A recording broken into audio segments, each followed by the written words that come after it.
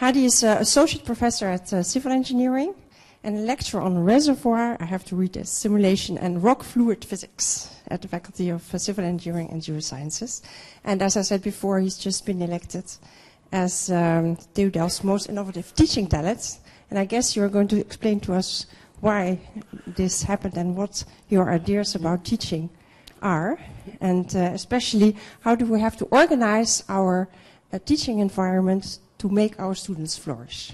Thank you very much. Thank you very much, uh, Anushka. It's a great pleasure for me to be here. Well, the award is already given, so if I do not present a, a good speech today, I already have the award in my office, so that's uh, to uh, lower the pressure on me today. Uh, I would like to start my lecture by asking you a very simple question. How many of you are old enough to recognize some photo like this how many of you have seen a winter in your lifetime? Many, many of you. And actually, this is actually the case that whenever we witness things and we engage and communicate or contribute, these two things are quite different. I've seen many, many winters in my life. But last winter was very, very different to me. Last year, uh, we had to do some uh, planting in our garden, in the, our you know, house. And I had a gardener to help me with, with this job. And then I had a very dead looking dry plant in my hands. And Frank, my uh, gardener and good friend, he helped me, you know, just put it in the soil of my garden. So we planted this plant in my garden. It was winter and something like this. Soon after, it was a spring. And I was in my garden. I could not believe the same plant that I had just three, four months ago had turned into a green, happy flower. The very same plant that might have looked like, like this in the wintertime. So then, these are the moments in life that some sort of aha happens to us, or, well, that's funny. Because you just have been engaged instead of just witnessing the garden and forest and woods in the nature. This is something you have done yourself. And that makes you somehow think that isn't it what we want to do with education? Isn't it the purpose of what we want to actually get surprise from people who come here and stay four, five, six years of the best moment of their life with us, and at the end they would like to flourish, to be happy, productive, green, and lively. See them like these kind of trees that would produce lots of solutions, lots of products to the society whenever or wherever they are placed to. Instead of looking at the trees or instead of looking at trees, you could have watched too much or focused too much on the apple here on this plot. And the apples, we know that they maximum they can survive for a couple of days. Lifelong learning cannot be an apple. It cannot be the solution. It cannot be the knowledge you transfer. It should be something to do with the tree, to give birth, to develop, or to growth. And this is the change of the focus I would like to introduce today in my lecture today. So then, all of us would like to have our students flourish. This is the common objective all of us have. And so, the question is always, how do we answer this question? How do we make them flourish? How do we develop professionals? Classically, what we do is, well, this is a nice garden. I'd like to have it in my backyard as well. But it's not my backyard garden, by the way. Uh, I wish it was. So to make them flourish, what we do is we offer lectures and courses. We offer plenty courses on fascinating scientific subjects, whether it is at chemical engineering, whether it is at civil engineering, geosciences, electrical engineering, TBM, policy management, and everything that we do. We offer courses, and then we try to see students coming, perhaps not so sure about the content of what we offer, and through the course, they flourish. It seems as if we take students and plant them in our courses and expect our courses will let them flourish, will make them lively, happy professionals for life. So if we care too much about our education and teaching, like many of us do, we design a lot of activities to make our course look like a, a club of inspiration. We drop lots of apples on the students' head, and we hope that through the course of our lecture, they come up with the aha moment. And they are happy and flourishing at the end of our lecture. This is what we actually focus too much on this course view. We focus development of our students mainly on the courses we offer, but we know that the garden is green not just because of the soil. Soil is of course important. It provides nutrition.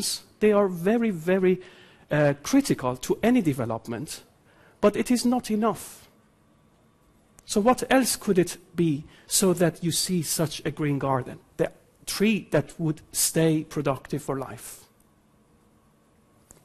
And we know that this garden is green not just because of the soil, but because of the environment.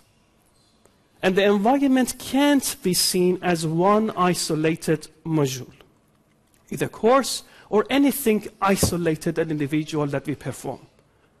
It has components, and it should have harmony and balance and synchronization between them. If I have one of them just very nice, I put more fertilizer in my course, so I offer better course, better, better, better. But I'm not providing enough air, sun. I don't have a good garden. So maybe we should just shift our priority and see how can we really develop better students rather than how can we develop better courses. That's my message today. Because objective is having the student ready at the end of the cycle of education here in university to pick up a good role in the society after graduation. That's what we license our students for. We offer a diploma. So that's very important. And they come with this expectation as well.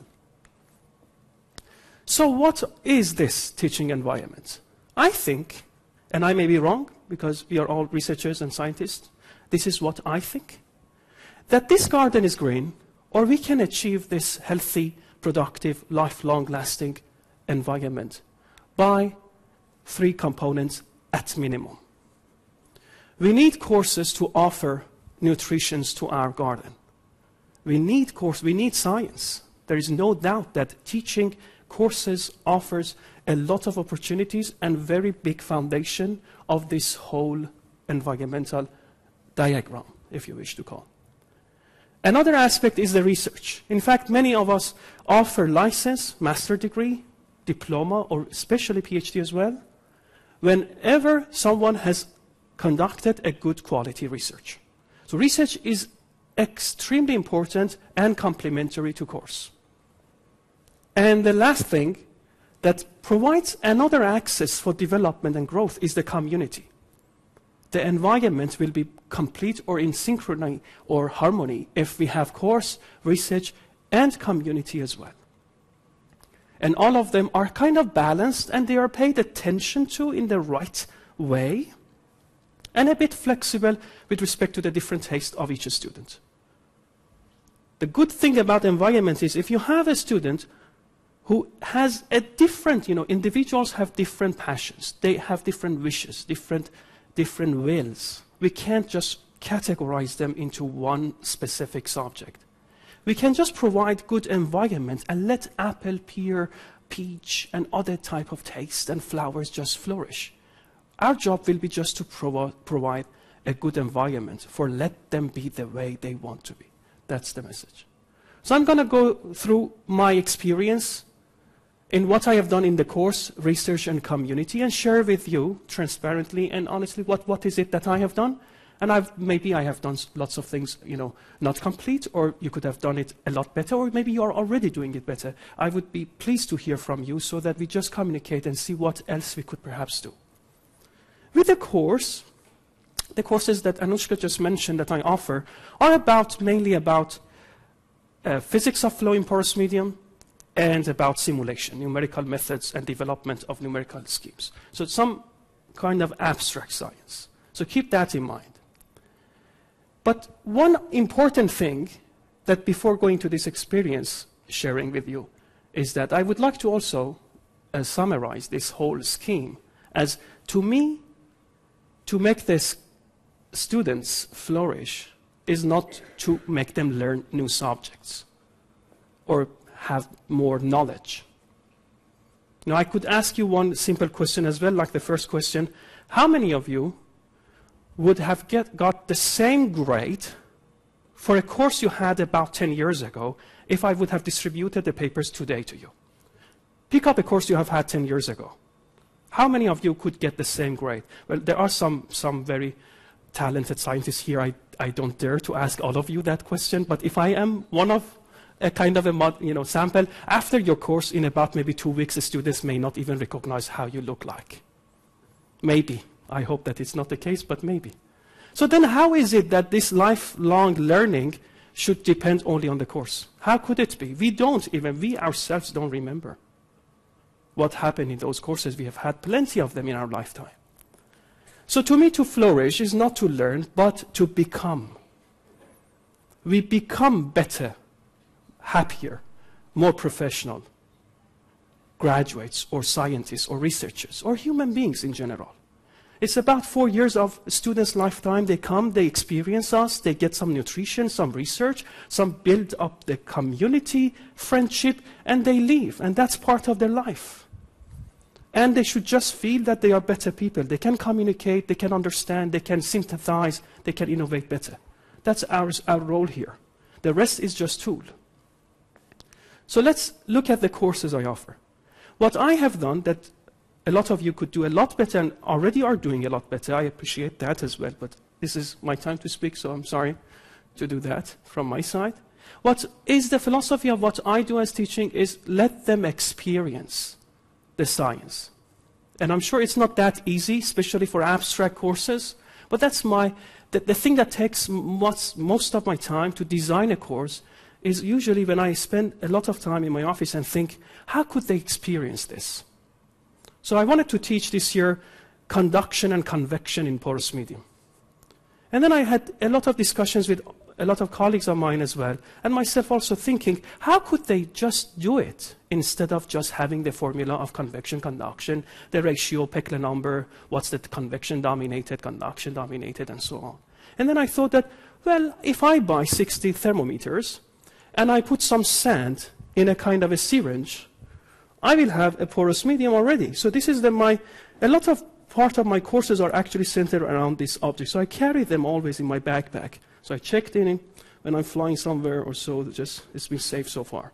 So I put soil in here, and that becomes a porous sample. And you can start from Navier-Stokes and get a lot of properties of physics of fluid in this. If you just add some water, I actually have some. If you add this water in here, now if I let this go, this is actually if it goes, well, it's at the beginning, it's starting to wet, to make the porous sample wet, and then it starts to drop, drop, drop, drop.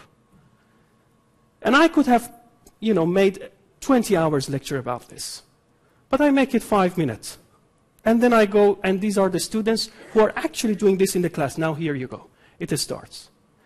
It's science, it's practicing, it's affordable, which means you can do it in your kitchen in your backyard garden. If you can take the science with you and experience it, you learn it. So that's what I do also for the computer pr programming and simulation courses as well. Which means, you know, we do a lot of scientific development about methods for discretization of partial differential equations and simulation of particles, fluid flow, and all the kind of things. But the better way to teach it is you just give the concept and just connect your own laptop and start coding with your students. Let them just do what they are hearing. And then you correct as they are doing. So in fact, in very abstract courses, you can think of a lot of ways that you could engage students to practice the science in an affordable manner. And nowadays, they can bring even their own laptops with themselves. So it's not necessary to book a large computer room. So that's course, and it's very brief, I wanted to mention. About the research, you complement the teaching and courses that you offer in university by asking a student to be coached by a professional and do the research. So the person should do research. Oftentimes I answer this question that what's the research difference between university and industry? I've had industry also experience in my life. I think the main difference between the research we do in university and in companies is that in university, professionals avoid doing research themselves. We teach people and train them to do research. It could have taken a lot faster for you if you would have done it yourself, but that's not the main reason here that we are educators. We need to teach people to do research rather than doing it ourselves all the time. So they do the things, and then you help them provide capacity, learn how to, how to understand a big problem, the significance of a big problem. That develops their capacity. And how to divide a complex problem into logically connected pieces and then try to provide solution, connect, relate, and very importantly, to communicate and transfer the science that they have developed. So for that, I have a research group, and many of you have research groups as well, but that's very important to actually uh, notice that this is a big part of what, what we are doing in, in university and provides a good and healthy uh, environmental component to this, to this whole framework. Last but not least, and definitely not least, and this is what the core of my, my message today is about, is about development of community. Community, in one word, is we the word. As you are not a random particle that moves with Brownian motion. You've got purpose to move, and you feel the forces and the, and the energy from all other human beings around you.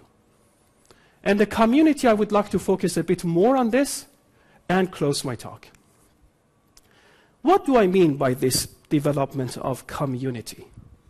Community is a group of people who share concerns, who complement each other. In a group, they are less defeatable, or they are feeling more complete. They feel they're missing gaps. It builds friendship, and it you know, uh, uh, guarantees also lifelong learning as well. Imagine we have a good teaching club here with all the educators. This is a kind of a community that, that we are developing, for example. There are some tips I want to ex explain to, or, or, share with you from my own experience in development of the research group that is called DARSIM, Delft Advanced Reservoir Simulation. The first tip that I would like to uh, give to my, my uh, fellow, my junior, like me, junior faculty and academics, is that always think about building a group around you. And don't interact individually, individually, and so. I know a lot of uh, uh, senior colleagues are sitting here and they are already uh, familiar with all these concepts. It's just more because it's been also uh, recorded. I hope some young person like myself who comes and takes an academic position, and if the stochast, I don't know, some by chance watches this video later, see that this community and group building is very important in my view. It makes the people, and you can cluster them with different size of people, from bachelor, master, and postdocs and PhD. And you can start with, with many, you know, few. If there is a purpose, you can grow. If not, don't. There was actually recently, a few months ago, uh, an article in Nature about what the size of a group should be. And they have studied many, many uh, at University of Chicago and, and University of Santa Fe that sometimes the smaller groups are more innovative than larger groups. So it's not really, really the matter. The size, quantity, and all the kind of things don't pay attention to. Have a group and give identity. And very important, a very important thing here is it should be centered around a top science subject. That will make you famous. And that gives people in your group also identity. Connect to the world, That's very important. And you must be, in that case, very global as well. So you should be the person who knows what the globe look like and how are you going to connect with people around the world. You send your people there, you host people here, and you host events, and you participate and lead events as well. There are big conferences around your subject of community building and group leading. You need to be there as the organizer, as the chair, as the lead.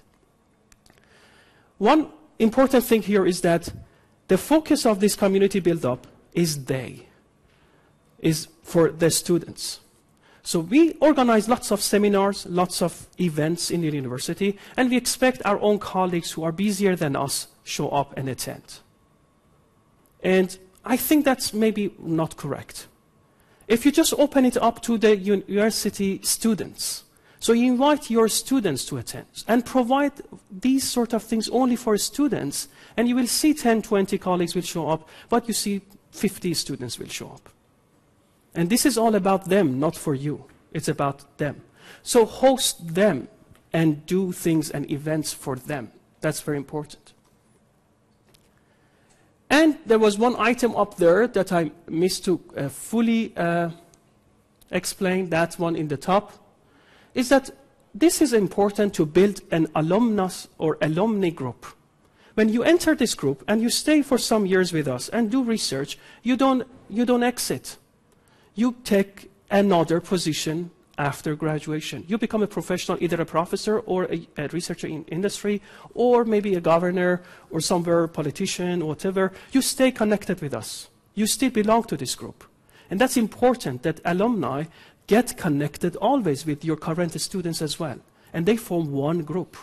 I have one group in WhatsApp, and all of my students, including alumni, except two of them so far, the two that got PhD just long ago, uh, are connected, all of them, and they are, they are everywhere, from Switzerland, from America, from Britain, from everywhere. And they are graduates of our own group, and they stay connected. If they see some opportunities, some hiring, some grants, some funding, it's just, this is lifelong. But the course is over. The research, the diploma is over, but this is about some years that we are doing this practice. So our friendship never ends, or our our alumni group. This is very, very important to keep your contacts always with you.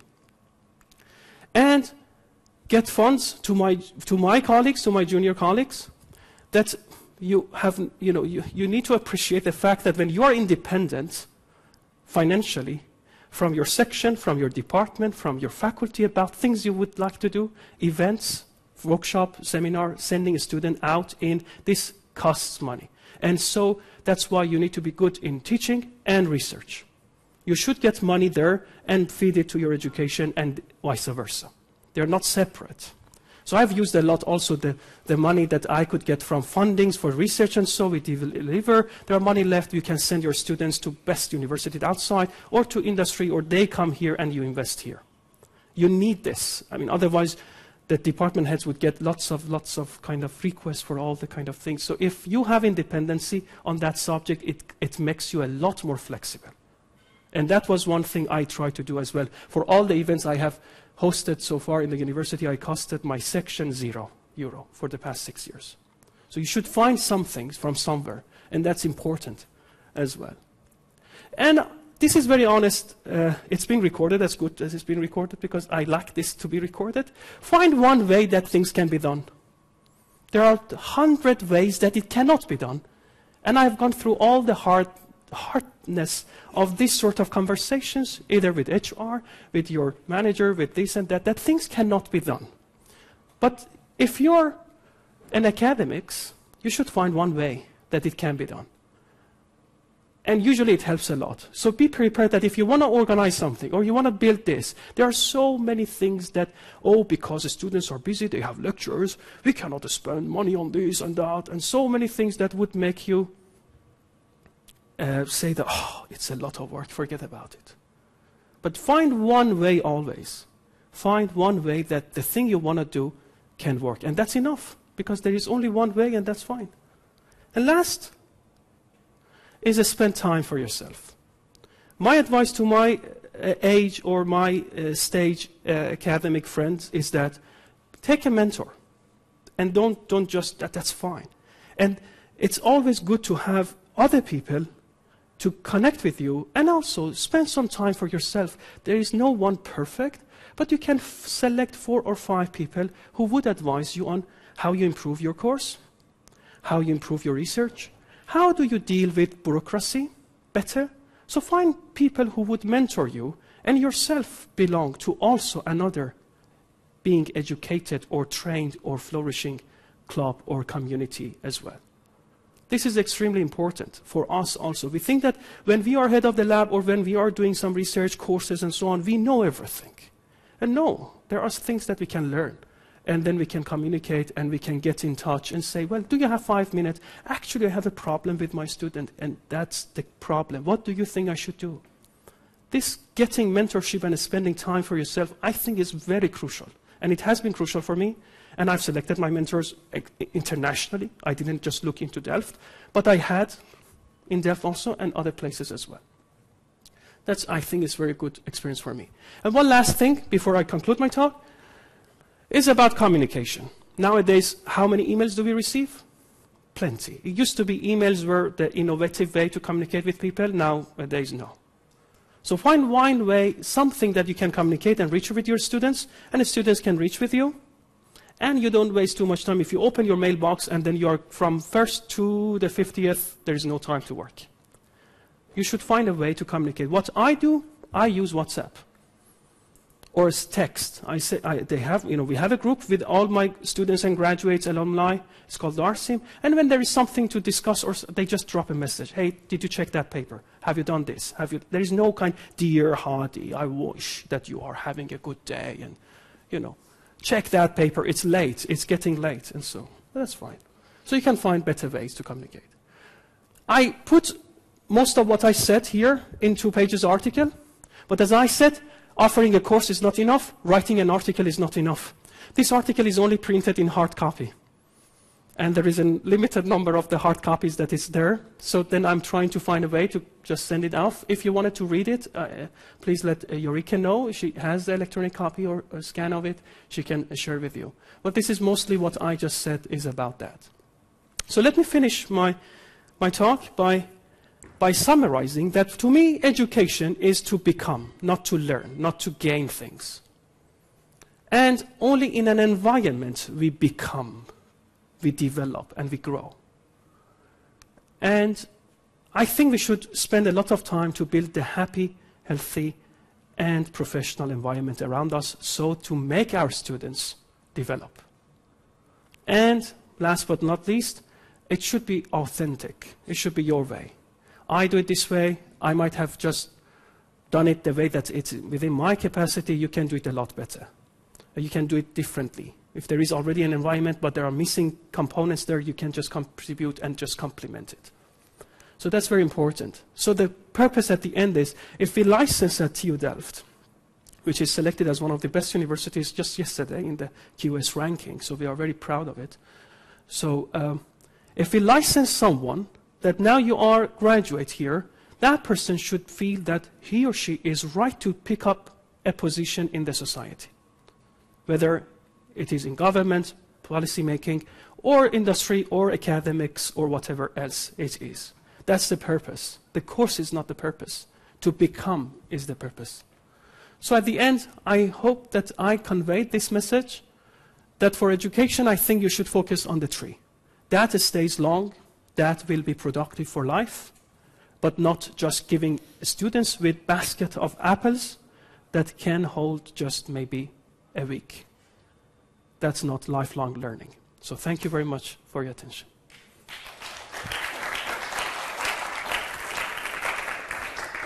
Thank you. Thank you for this, I would nearly say, poetic talk. Are there some questions? I know people have, will have to leave course, the only reason you might have to leave is when you have education duty. No, but feel free to leave the room. Yes, there is a, a, question. yes, thanks, uh, sure. Hadi, for a very uh, interesting and inspiring talk, actually.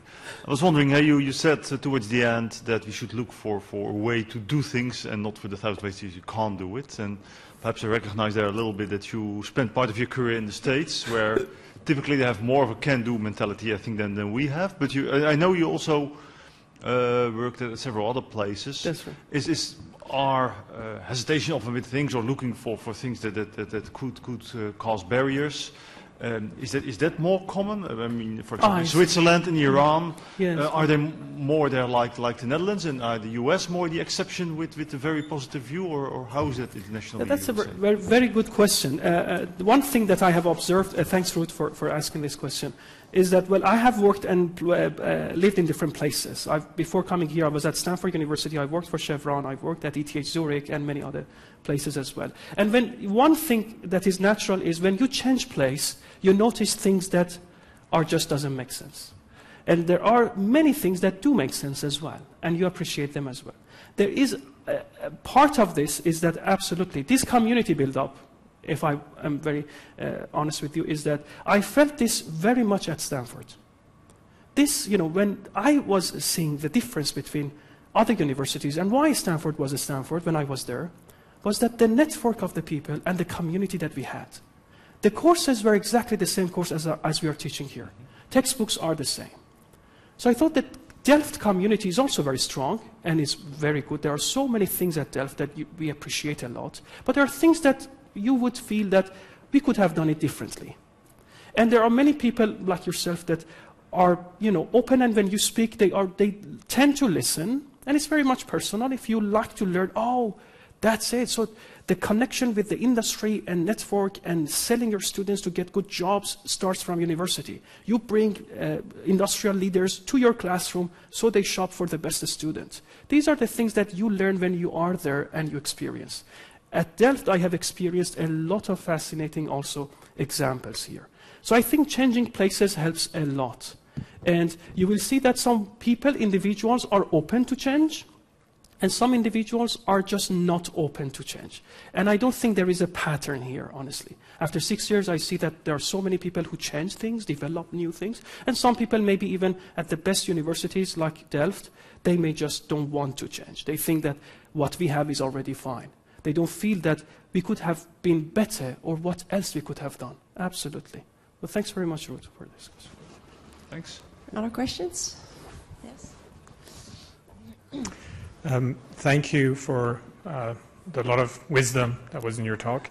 Um, I, am curious about the grants that you discussed yes. to get. Uh, like, how much does it? I really like this idea of setting up your own community. I'm sure. kind of uh, in my tenure track at the moment. Sure. So I, am sure. like, how much does it cost, and what are the sources for these it, kind of grants? It, it, sometimes does not cost much. You know, I just invite. You know, I invited once. You know, the, for the you know, it depends. For the grants that we get for offering for a PhD, we cost a lot of money.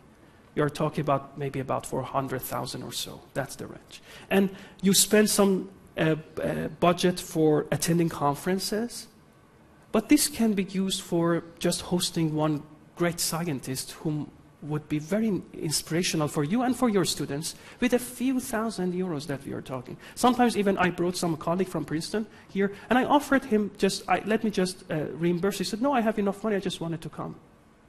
So you think that when you reach people, it's not, finance is not the stopper, but it's great to have it. It's just, it's great to have pocket money, but you may not even end up using it.